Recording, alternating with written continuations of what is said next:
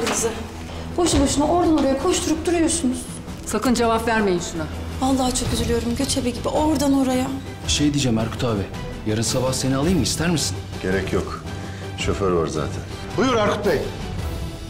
Murat? Baba? Anne polis arabası niye geldi? Bilmiyorum anneciğim. Selim Emiroğlu, Evet benim. hakkınızda vergi kaçırdığınıza dair ihbar var.